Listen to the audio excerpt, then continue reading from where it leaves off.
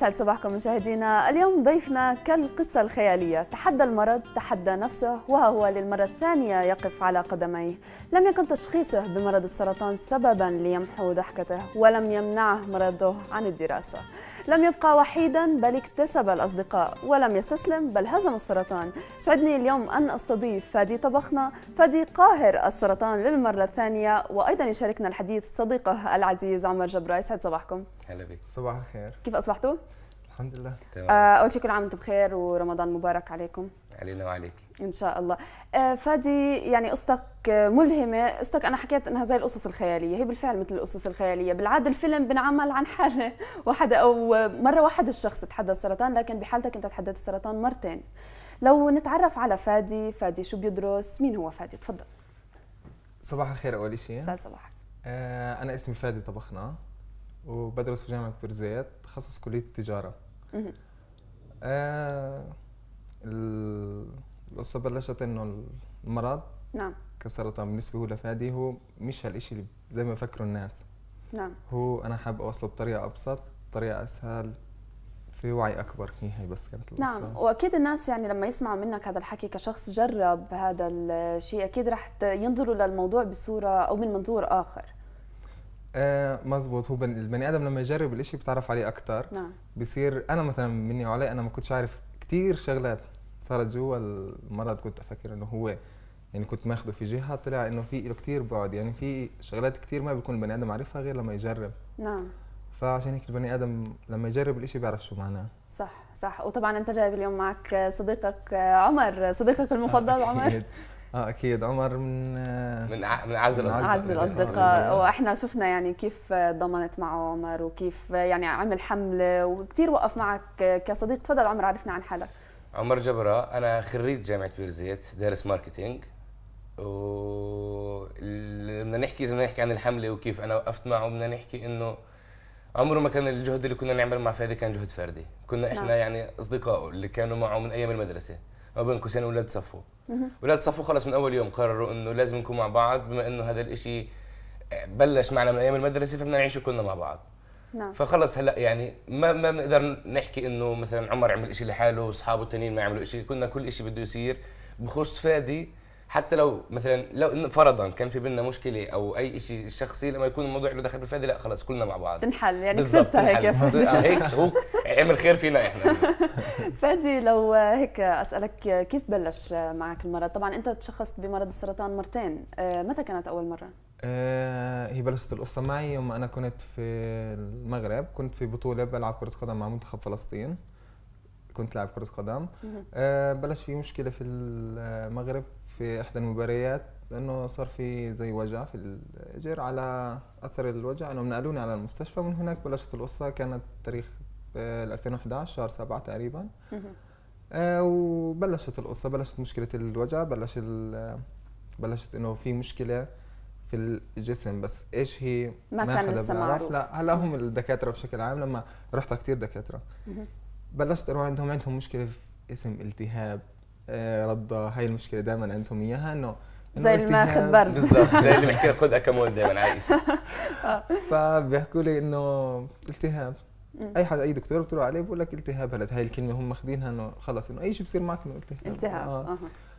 بلشت كملت لحد ما إنه مشينا فترة كثير يعني طويلة لشهر تقريبا ثلاثة بال 2012 أوه مرق كل هالفترة. وهم مش قادرين يحددوا مش عارفين. إيش آه ما بيعرفوا كله التهاب رضا وكل واحد بيحكي شيء بسيط. حتى. في حدا منهم قال لي بتقدر ترجع تكمل لعب رياضة عادي فيش اي مشكلة. أوه. هذا اللي خلى الشيء يتفاقم أكثر يعني. وأنت كملت؟ أنا كملت. كنت قادر تكمل. الحكي بالضبط. طيب. لا أنا لقيت إنه أنا بحب إنه متعلق بالرياضة كثير. وخاصة بكره زمان القدم يعني إنه ف كنت تلعب مع المنتخب أكيد. آه. مع المنتخب مع النادي حتى بين أصحابنا يعني كلنا يعني شوف سبحان الله كيف الصدفة. يعني اكتشفت هذه أو هذا المرض يعني ب- بأكثر شغلة بتحبها بالحياة بالضبط. يعني بالرياضة. وما كانش هون حتى كان في المغرب. آه نعم مزبوط هي بلشت. هم في المغرب أول شيء شخصوا الحالة إنه عملوا لي عملية زايدة. عملوا لك زي آه تخيلي وين. طيب. وبعدين لما ما رجعت هي رجلك بتوجع. آه بس هم حطوها آه بالزيت. ف فلما رجعت بلشت إنه صوت مشكلة في الأمعاء كمان عملت كمان آه، عملية في الأمعاء. وبعدين بلشت شوي شوي تتفاقم القصة لحد ما صار في الوجع غير يعني خلص مش طبيعي يعني. صار غير محتمل. آه. نعم. الدكتور زهق مني دكتور من الدكاترة زهق فبقول لي خذ اعمل هاي الصورة يعني. آه. فعملنا الصورة فتفاجئ هو بالصورة اللي وصلت فقال لي إحنا مضطرين نعمل شيء اسمه خزعة.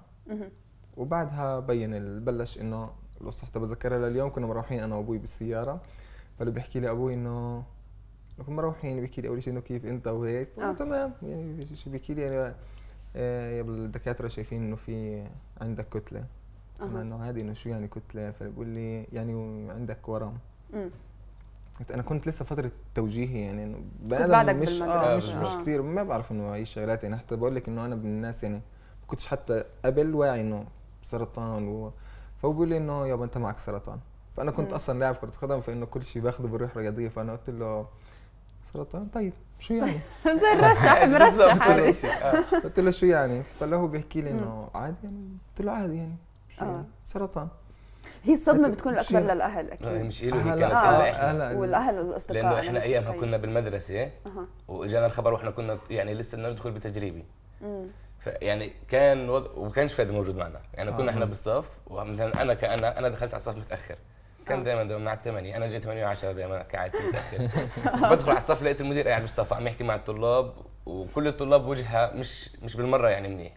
فتخيليش قديش كان مثلا كأنه اليوم كله كامل ولا حصة بس كل الشباب عم تحاول كانت صدمة يعني بالنسبة بالضبط تستوعب شو اللي صار فينا مم. آه. طيب وبعدين بعدين بلش مشوار ال- العلاج. زي ما بنقول طلعت على مركز الحسين للسرطان. في عمان لأنه كانت ال- الحالة يعني يعني زي ما تقولي أي مرحلة الأمل كان مش واصل؟ آه هي كانت مرحلة متأخرة فالامل في الشفاء ما كانش كثير كبير مم. عشان هيك بلشت فإنه هم يعني حطوني تحت الأمر الواقع بس أنا من الناس اللي أنا بحب التحدي يعني أنا م- بما إنك رياضي أكيد بتصير بالتحدي صح. فأنا أنا بحب اخذ الإشي بتحدي فأنا قلت إنه هذا التحدي وأنا لازم أمشي فيه ومش راح أوقف يعني. صح. فأنا بلشت التحدي ومشيت القصة. هلأ من أول ما مشيت من أول يوم مم. لليوم. من هاي القصة من 2012 يعني تقريبا لليوم. وفي ناس معي في ناس حوالي في ناس يعني إحنا واحد إحنا كلنا اللي انصبنا فيه مش فادي. صح. صح وقفوا معك ودعموك طول الوقت. أهلي وأصحابي أكيد يعني. أهلك وأصحابك كيف كان تعامل أهلك مع الموضوع؟ إيه، أولها طبعا هم لأي مريض لأي حدا بحبوش يبينوا إيش صح. بس أنا بالنسبة لفادي يعني أنا مش بس لأهلي بحب أحكي للجميع إنه أنت بتقدر تحكي لي إنه أنت معك سرطان. هاي الكلمة في ناس كثير بخافوا منها إنه بصير يحكي لك المرض هداك يعني. صح المرض هداك. المرض آه. هداك. طب ليش؟ طب عادي ما هو اسمه سرطان. اسمه عادي. اسمه سرطان. بتقدر تيجي تحكي انه صح. سرطان فيش اي شيء مشكلة. صح ما صح. بخوف. وهو أنا بعتقد إنه نفسيا كثير مهم إنه يلاقي الواحد حوالي اصحاب والأهل. يعني هذا أهم شيء. يعني أنت عايش في بيتك. إذا أهلك ما كانوا داعمينك وما كانوا محسسينك إنه الأمور عادية وإنه الواحد بتحسن أكيد هذا الشيء ممكن يأثر على نفسيتك وممكن يهبط من معنوياتك. لكن أنا بعتقد إنه يعني الله يخلي لك أهلك آه، اللي وقفوا جنبك والله يخلي لك أصحابك كمان. يعني اللي طلعوك بهالمعنوية وبهالنفسية القوية. ما هو هلقيت أنا بحب أحكي كلمه إنه هم أهلي وأصحابي صح أنا دائما بحكي أهلي وأصحابي بس هم بتقدر تحكي يعني أهلي وهم عيلتي الثانية اللي هم أصحابي أهلي يعني وأهلي. يعني صح. هم أهلي كلهم مع بعض يعني بس عشان الناس يكونوا عارفين ف يعني إنه أنا من قبل ما أبلش يعني من قبل ما أبلش لحد ما مرضت لحد ما خلصت لهلأ تعاملهم ما اختلف. هذا الإشي اللي ب- بيميزهم يعني فأنا بحب أحكي إنه هلأ أهلي وأصحابي لو كل مريض عندهم أهلي وأصحابي كان ما بضل ولا مريض في موجود يعني. صح. أكيد هذا الفضل أول شيء لرب العالمين. أكيد. أكيد يعني الفضل لرب العالمين. وأنا بني آدم بأمن يعني في ربنا وبقول إنه طول ما أنت مع ربنا ربنا راح يكون معك. صح صح أكيد. فخلص إنه بلشت على هذا الأساس. مم. ومشيت. ومشيت. وبعدين كملت توجيهي أنت بعد المرة الأولى؟ إيه، حكوا لي وقف. أها. في ناس إنه قالوا لي وقف حتى إنه من أهلي إنه كان في حتى بين أصحابي كمان إنه في ناس إنه لا خلص إذا بدك إنه تريح يعني فأنا قلت لهم لا أنا زي زي اي بني آدم طبيعي مم. مش راح أخلي السرطان يوقفني عن أي شيء وكنت عم تاخذ العلاج وأنت مزبوط العلاج كان مم. ماشي مم. وحتى الفصل الثاني ما حضرت كثير يعني منه لأنه كانت أول علاج وشوي كان في يعني العلاج شوي بكون أولها أكثر آه أول بكون مكثف. اقوى عليه لأنه قوي. لسه آه بالضبط مزبوط هلقيت فأنا قلت لهم مش رح أوقف. أنا بدي أكمل في توجيهي وشو يعني خليني أجرب؟ يعني خليني يعني أجرب. بالعيد. اللي آه. عندك؟ فأنا إنه أنا مش خسران إشي يعني أنا. رح رح يعني خليني أجرب بعدين بكمل. مشيت في التوجيهي والحمد لله يعني طلعت معدل 88 ونص. و- أعلى مني. على منك؟ تخيلي. تخيل أعلى مني. بس في كمان شيء آه. بالفيزياء 99 هي لازم. بالفيزياء آه، هاي 99 فيها. هي لازم. ما شاء الله يعني. وهذا وإنت كنت وقتها عم تتعالج عم يعني عم بتمر خلينا نحكي ما, ما بدي أخوف الناس بس هاي من مرحلة من المراحل الحياة الصعبة جدا يعني اللي الواحد بتكون حتى نفسيا أكثر تعبان من ما هو بالضبط. خاصة إنه جسديا كان شيء جديد عليه يعني حتى العلاج رح يكون كتير قوي عليه. صح. كان كل إنه دافع أصحابه وأهله إنه خوف إنه فكرة إنه ما زبطش في التوجيهي أو سقط توجيهي ما كانتش منيحة فإنه ارتاح بتعيده المرة الثانية بيكون مم. كلنا معك فإنه كان هو مصر وكان يقدم إنه مرات في المستشفى صحيح؟ مزبوط مرات كان. يقدم في المستشفى فكنا إنه إحنا كنا خايفين كثير إنه ما يزبط لأنه بمستشفى وجو وفيش حدا معه. آه. حتى البني آدم حتى لو, لو نحكي ما غش بس حدا يعني جنبه ما غش. آه هلا آه ما غش. حتى لو ما حدا غش بس جنبه حدا بيرتاح نفسيا. صح. بحكي أنا وياه مش مزبطين مع بعض. وأنا وياه مزبطين مع بعض. صح. مع إنه كنا نروح له على المستشفى بعد الامتحان تبعنا إنه إحنا نخلص الامتحان ونروح له. بس عليه. كنا آه بس كنا نخاف عليه إنه يعني ما يزبط وبعدين السنة الجاية يصير يحكي خلص ما هي ما أول مرة. آه ويهبط معنوياته. وما يكملش في الموضوع. راح جاب أعلى مني. طبعا هو بعشر بس أعلى مني. لحد هلا أنا مش مبسوط. المهم أعلى منك. آه. آه طب بعدين فادي دخلت الجامعة دخلت آه رجع. نفس الموضوع تكرر هلقيت قبل فترة الجامعة كانت في قصة ال- العملية هي. هي كانت تقريبا زي ما بتقولي ال- الفترة المحورية إنه في إنه صار إنه هي هي اللي راح تحدد يعني أكثر شيء كانت إنه بتحدد هي العملية ال- إنه قبل استئصال ما للورم ادخل. قبل لا قبل ما أدخل هلقيت كان في انه إنه حكوا لي إحنا متأسفين إنه إحنا مضطرين إنه إحنا نقطع الإيجار لأنه آه كانوا إنه خلص إنه ما في دخلت على العملية على أساس إنهم راح يقطعوا الإيجار آه قلت لما صحيت بعد ال- البنش فأنا طلعت إنه الحمد لله انه أشهد؟ إنه آه، تنتين موجودات لله. إنه الحمد لله إنه تنتين موجودات فأنا قلت الحمد لله يعني كثير فإنه بس حركت إنه ما تحركت فأنا قلت خلص مش مشكلة إنه الحمد لله إنه موجودة بس قال ما فيها يعني فإنه الحمد لله. فلما دخل الدكتور فحكى لنا إنه إحنا الحمد لله قدرنا إنه تشيل. الورم آه إنه نقيم آه. ال- الورم بدون ما نقطع الإيجار وبس هي هلا في مع العلاج الطبيعي مع كل شيء كل شيء بيرجع طبيعي. أمم.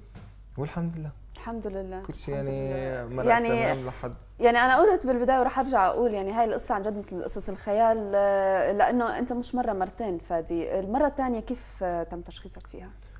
هلأ أنا بعمل بعد ما خلصت أول مرة. بعمل آه، متابعة دائما بالصور. فبيوم من الأيام حتى كنا طالعين آه، في الرحلة كنا. مهم. كنا في رحلة مع الجامعة يعني. فإنه بنفس اليوم تطلع النتيجة. آه. فإنه حكيت مع أبوي بنفس اليوم فلو بيحكي لي إنه كيف النتيجة؟ فانا بقول أبوي لا كثير منيحة. آه ما حب. آه, آه. عشان كنت في الرحلة. ما حب يحكي لك وقتها آه. فروحت فاللي بقول لي إنه إحنا ثاني يوم لازم نشوف الدكتور مع إنه إحنا إذا كانت منيحة ما بنشوفه يعني. آه. إنه خلص انه بالضبط. فوصلنا عند قبل ما نطلع بشوي عند الدكتور فلو بقول لي يابا هم شايفين زي كتلة كمان. أو. نقاط عند ال في الرئة. فأنا قلت له إنه يابا تقوليش لا كتلة ولا التهاب ولا إشي حتى لو كان سرطان إحنا زي ما حاربناه أول مرة صح. وقدرنا إنه نغلبه راح نرجع نغلبه إن شاء الله كمان مرة طلعت عند الدكتور مم. رجع عاد لي نفس الكلمة قلت له دكتور إحنا حكينا قبل هيك إنه هذا الشيء خلاني مش أضعف خلاني أقوى أكثر خلاني صح. أقول إنه في تحدي جديد في شيء جديد فإنه أنا راح أضلني أقوى مش راح أضعف لأنه أنا هلأ قوتي من قوة أهلي من قوة أصحابي إحنا. قوتنا كلنا واحدة إحنا مثل جسد واحد. صح. كلنا ماشيين في هذا الطريق. أنا إذا بدي أقول انه إنه لا إنه أضعف شوي هم كلهم راح يضعفوا بس أنا كنت آخذ قوتي أصلا منهم. صح وكلكم مشيتوا مع بعض بهاي الطريق. كلنا مشينا مع بعض. هلأ بعد ما خلصت أول مرة طبعا هي أول مرة لما خلصت أصلا كانت يعني الدكاترة كلهم تفاجئوا كيف التحسن بعد العملية وأخذت إشعاعات. يعني بعد. الهاد كانت انه إنه كثير تفاجئوا إنه حتى الدكاترة وكلهم. فلما رجع كانت مفاجأة كمان لل للدكاترة أيضاً. نفس الشيء آه الدكاترة. كمان تفاجئوا آه كملنا إحنا مع بعض. فادي بس يجوا الناس يشوفوه بفكروا إنه بس هو يعني إنه فادي. صح. يعني إنه فادي هو هاي القصة فادي وجماعته. لازم يعني نحكي. هو لازم هو فادي. العصابه اللي معه. هلا هو في ناس أهم من فادي هم. هو فادي آخر واحد فيهم. في قبل فادي في أهله وفي أصحابه. صح. هم هدول اللي زي ما قالوا يعني بتقدر تقولي الأساس. صح. لهذا وفادي. بعدين أنت شعبيتك يعني ما شاء الله في الجامعة وقتها. عمر آه، أنت اللي أطلقت الحملة في الجامعة؟ هلأ هو أنا حكيت لك من الأول إنه ما في شيء كان اسمه جهد فردي. كانت الفكرة عم نفكر فيها. هلأ يمكن أنا اللي أنا اللي بلشت فيها على الفيسبوك بس ما كانت فكرتي. بما إنه أنا كنت يعني لسه في عندي أكثر معارف في الجامعة فكنت إنه لما تبلش من عندي عم تعمل جو أكثر فبلشناها وكلنا صرنا نشتغل على الموضوع. صح بتذكر. إنه كان الإشي بالهدف منه مش إنه نعمل شعبية أكثر إنه ما ندعمه. أكيد. كان لما فادي يكون مثلا مش عندنا هون في عمان نكون كلنا نفسنا نشوفه. مش كلنا قادرين نطلع له. بدنا نحاول إنه نوصل له بطريقة معينة أو نبسطه بطريقة معينة. فكان لما يسمع هو خبر إنه في إشي في البلد هون عم يصير لفادي كان ينبسط كثير آه طبعا. آه فكان من الأشياء اللي نعملها مثلا إنه هاي الجامعة عرفت من فادي هاي الجامعة عرفت فادي شو عم يعمل. يعني بما إنك عم تعمل إشي مش أي حدا قدر له إشي كثير مميز خلي الناس تكون عرفتك. صح. فكانت هاي فكرتنا من الموضوع. وهي الحملة يعني لاقت صدى كتير كبير. أنا على مستوى طلاب جامعة بيرزيت على مستوى حتى الناس يعني في رام الله خلينا نحكي مش فقط على طلاب جامعة بيرزيت كانت حملة كتير كبيرة وأكيد أثرت فيك كتير صح؟ هلأ هي أثرت في أنا بحب أشكر كل طلاب جامعة بيرزيت وبحب أحكي لهم إنه هم دعموني كثير وهم يعني القوة اللي كانت فيي هم سبب فيها. وهم جزء من هاي القصة اللي صارت صح. قصة النجاح يعني هم جو يعني جزء مهم كمان. وهذا بدل على الوعي كم هم واعيين وكم هم عندهم فكر وكم كيف بيقدروا يساعدوا. صح وقديش عندهم تعاطف وحب لبعض. ولطلاب جامعتهم. يعني هذا الإشي خلاني أحس إنه إحنا جامعة إنه واعية وكم إحنا جامعة إنه إحنا مع بعض. يعني حتى إنه دائما بقول أهلي وأصحابي بس أنا بشكر كل واحد يعني دعمني مسج أو تليفون أو حتى دعوة كانت. فإنه هذا كتير إشي دعمني وقواني يعني. صح. وزي ما قلت لك إحنا يعني جسد هي يعني كانت زي عيلة كتير كبيرة يعني. صح هي محاربة جماعية صح، هي كانت إحنا. كلنا. معركة جماعية. هلا هو على الفيسبوك تقدر تحكي. أو فعليا هو ما بفتح فيسبوك حاليا. لأنه أنا هلا تذكرت لما حكى إنه كانوا يبعثوا لي مسجات. بتعرف ليش يعني جد مش طبيعي. ما في. ناس آه رسائل في يعني كثير ناس بيعتبروه مصدر إلهام هلأ فادي. آه،. أنا كنت أشوف ناس جد مش من فلسطين عم يحطوا صوره ويحكوا إنه فادي اللي يدعي له اللي يصلي له اللي يحطوا صوره. حتى في ناس مسيحيه كانوا حاطين صوره على الشموع يعني كثير ناس حاطين صوره في كل مكان. وفي كثير ناس ما كانوا يقدروا يوصلوا له. كانوا يوصلوا لي أنا يوصلوا لأصحابه التانيين إنه طمنا عن فادي. آه. احكي لفادي إنه حابب أحكي معه ولا شوي حابب أحكي معه شوي أفهم منه. يحكي مثلا كان عندي ابن عمي كان معه سرطان حابب خليه يفيدنا شوي. فكان كثير ناس حاولين يوصلوا له بس إنه يعرفوا مصدر القوة. ياخذوا منه إنه تجربته يستفيدوا منه. فهلأ صار مشهور وبطل يرد على الفيسبوك. بطل يرد بطل على فاضي يرد على الفيسبوك. لا اللي صار إنه ال- الفترة ال- هاي اللي هي في المرة الثانية في الزراعة بتكون يعني أنت أصلا بتمرق في شغلات آه، بتكون صعب أصلا تعمل شغلات طبيعية. ال- يومك ف- مثلا بيختلف طبيعة روتينك لا هي بتختلف. الزراعة شوي بتختلف. هي أول مرة بحكي عن الفترة الثانية هو أنا. لما حتى في ال... في فيلم صار فإنه ما حد يعني قبل ما أطلع بالضبط على عمان كنت مخلص فيلم جل يعني العلاج الجزء الثاني ما ما حكيت عنه. هي أول مرة. بتحكي بتتحدث عن علاجك. هلأ طبعا فادي لو نعرف إنه آه، تم العلاج أنت أنهيته نهائيا؟ الحمد لله. الحمد أنا لله. هذا أكيد بفضل ربنا يعني. الحمد لله. وأول شيء بقدر أقول إنه ربنا قادر على كل شيء يعني. صح. و يعني بتقدري تحكي إنه بنرجع نقول أهلي وأصحابي. أهلك وأصحابك. الله يخلي لك إياهم يا. رب. يعني هي صاحبك جاي معك على المقابلة جاي يدعمك وجاي يوقف معك. حتى يعني بعد ما خلصت هالمعركة وخلصت. يعني خلينا نحكي هالمرحله مش مرحلة سهلة يعني ما بنقدر ننكر إنها مرحلة صعبة بمراحل حياة الشخص. لكن أكيد هلا آه، كل الأشخاص اللي عم بيحضروك آه، أنت بالفعل مصدر إلهام لهم مش مرة مرتين. يعني أنت تحديت المرض مرتين يا فادي. هلا هلا في إشي إنه إحنا أنا بحب أحكي إشي دائما إنه حكيت إشي إنه إحنا مستعدين هلا هذا الإشي أنا ما حكيتوش في إشي شغلة إنه أهلي وأصحابي وأنا إحنا مستعدين للمرض مرة وتنتين وألف الله يبعد عنك الله يبعد عنك راح نكون كل مرة أقوى هلا إيه الحمد لله يعني كل مرة بيجي راح يعني هو أكيد السرطان. حرم يقرب عليك أنا. متأكدة هو هو اللي زهق. أعند مريض سرطان بجوز هو زهق لا ولا. ولا راح أزهق ولا راح آه، يعني لا الله يعطيك الصحة بالعكس يعني ما, ما تفكر بهالطريقة بالعكس فكر كيف أنت ممكن تفيد غيرك. لا أنا أكيد أنا صح. أكيد حب أنا حب رسالتي توصل للجميع. أنا حب ال- الجميع يعرف قصة فادي. صح. يعني الأطفال الناس. يعني يعني قصه مثل هاي صدقني كلمتين منك آه، بترفع معنويات الأشخاص كثير يعني يشوفوك هلأ أنت جاي وطالع التلفزيون وقادر عم تحكي وعم تحكي تجربتك مش كل شخص قادر يعمل هذا الشيء بالضبط. لا ما هو أنا بدي أوصل رسالة إنه انبسط السرطان هلأ مزبوط هو مش كتير يعني صعب مش شيء آه، سهل صح. في إصابات بس مش مثل ما الناس بتخيلوا إنه كتير.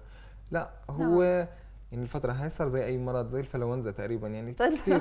لا بالضبط. يعني كتير هو. الحلو في فادي إنه عم يحاول يوصل هاي الرسالة للجميع إنه المرض مرض بس لما يكون عندك نفسية قوية بطل مرض. صح. يعني طول ما أنت عندك نفسية قوية وأنت مش عم تح... زي ما حكيت أنت إنك خلص انعزلت لحالك وعم دائما متضايق و... بالعكس هيك كسبت. شعبيه كسبت اصحاب لما تعيش حياتك حتى وأنت مريض وما تطلع إنك أنت مريض ما تشوف حالك أنت إنك مريض كثير أنت بت- بتساهم في مرحلة العلاج. يعني العلاج صح. ثلاث أرباعه نفسية فان نفسيتك منيحة أنت هيك تتحسن. وفعليا يعني معلومة كثير مهمة اللي حابب أحكيها إنه دائما نفسية فادي كانت منيحة منه. هو كان يفكر إنه نفسيته منيحة منا.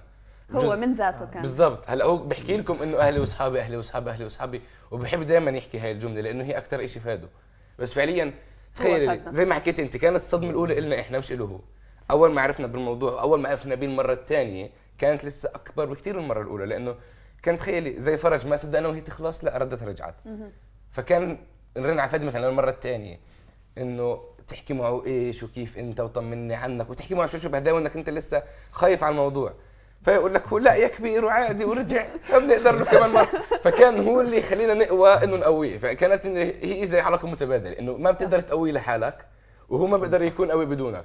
بس لما انت ترن عليه خايف وهيك لسه يعني حزين مش عارف شو تحكي مش. عارف شو تحكي له بالضبط. بتلاقيه هو بتخوت بحكي لك هو ما صار شيء عادي.